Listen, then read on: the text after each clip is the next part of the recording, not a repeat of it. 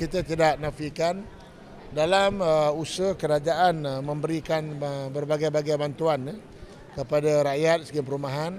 Saya juga uh, melihat uh, masalah rakyat uh, masih berterusan uh, dalam usaha kerajaan bagi berbagai-bagai subsidi uh, pertanian sebagai contoh uh, baja kita bagi subsidi uh, beratus juta kita bagi subsidi.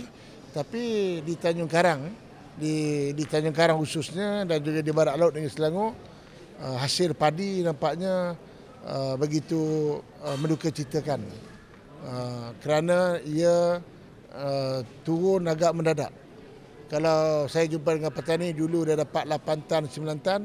Sekarang ni dia tinggal 1 tan tinggal 2 tan. Jadi memang turun uh, kena penyakit. Dan juga saya nak uh, meminta kerajaan Uh, melihat semula. Dan saya akan bangkit juga di dalam uh, kabinet supaya mengkaji balik. Uh, dasar kita nak perkenalkan tanam padi lima kali dua tahun. Dulu kita cadang nak tanam lima kali lima kali dua tahun. Sekarang ni empat kali dua tahun.